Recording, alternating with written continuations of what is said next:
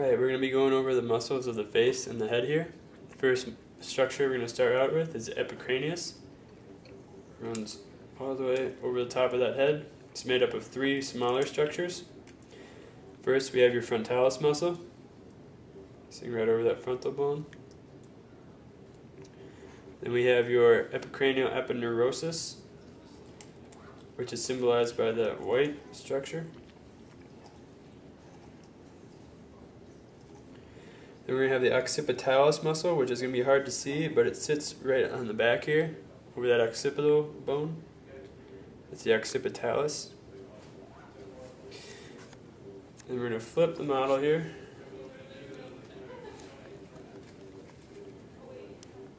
We're going to take a look at your orbicularis oculi.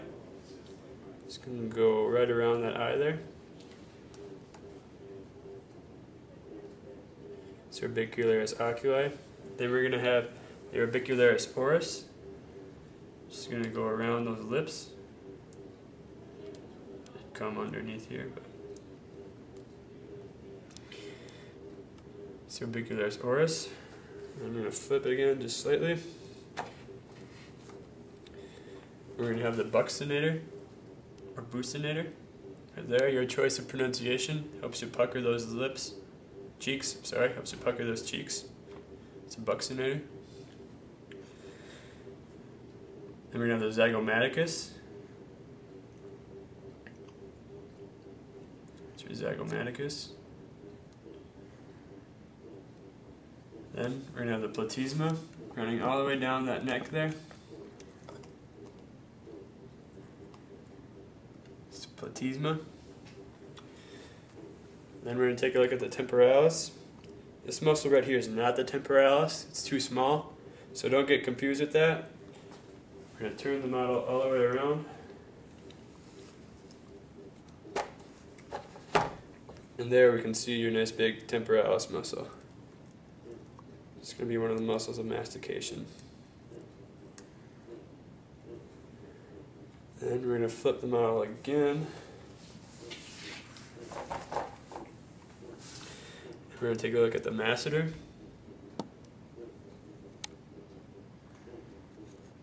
Masseter. And we're going to flip the model.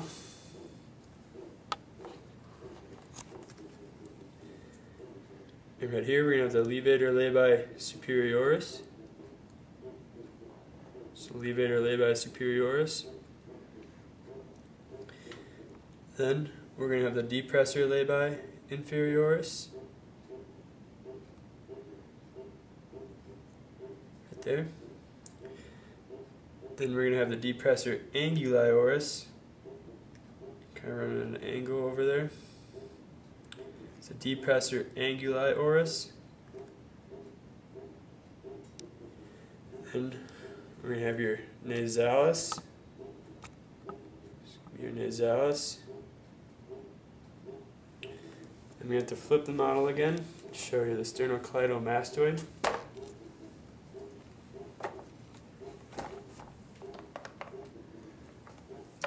This whole muscle here is going to be your sternocleidomastoid. You're going to have a sternal head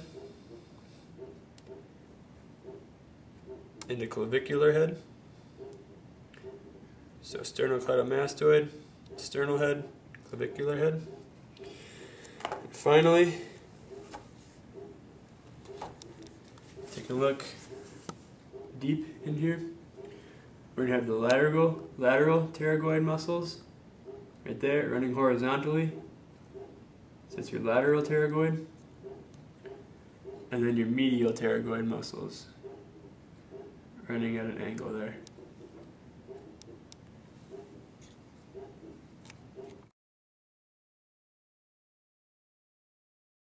Now we'll take a, take a look at the muscles of the abdomen and the rib cage. First muscles that we're going to look at are the external and internal obliques. Right here you can see those uh, muscles running downwards and in. So that's going to be our external obliques. Then you can see a cutoff here where it's like a dissection line and the trend of the muscles uh, goes the opposite way, kind of a, at an upward angle. And those are going to be called your internal obliques. And then another dissection line. And then this will be called your transverse abdominis.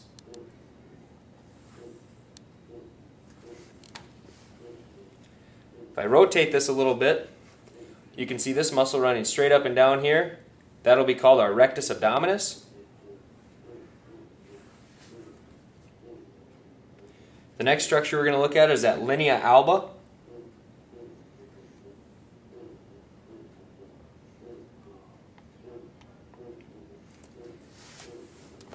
Then we're going to take a look at the intercostals. Um, if we look, open this up here, intercostals means in between the ribs, so in here, and they're going to run along those same, uh, the same trend as your obliques do. That's going to run your outer ones are going to run down like this into your pockets. And then your internal ones are going to run up at an angle. The next structure that we'll look at will be the transverse thoracis. And that'll be this structure right here.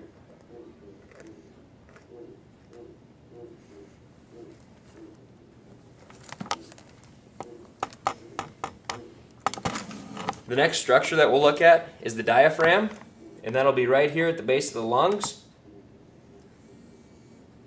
See it running along there?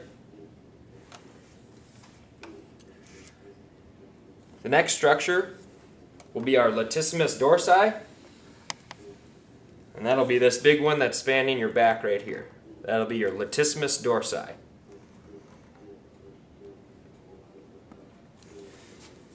The next structure will be the serratus anterior, and that'll be these muscles up here, kind of going around the rib cage in a finger-like projection. So that'll be the serratus anterior. And finally, we'll take a short look at the muscles of the spine. You can see just a few of them in here. Um, your lab manual notes the extreme complexity in this series of back muscles. Um, you can take a look at them in your textbook um, if you want to learn more about them, but you will not be tested um, in a very complex way about them in this lab.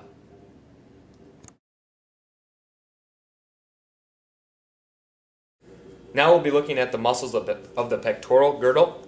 A few of these muscles in this section will be demonstrated on other models because they cannot be seen on this particular model. The first muscle that we will look at is the trapezius muscle.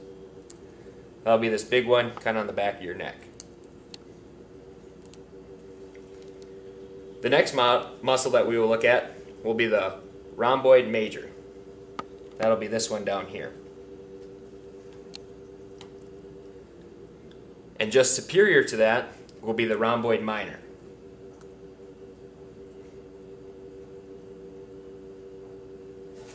If I rotate this model a little bit, I can see the levator scapulae. That'll be running right here.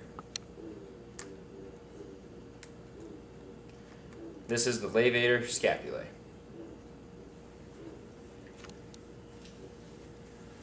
Next, I will rotate this again. Next muscle we'll look at is the pectoralis major, and that'll be this big muscle on the front of your chest.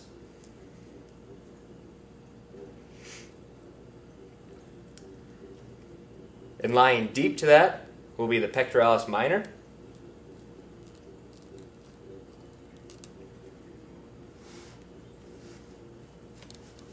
If I rotate this model again, we can see the supra spinatus.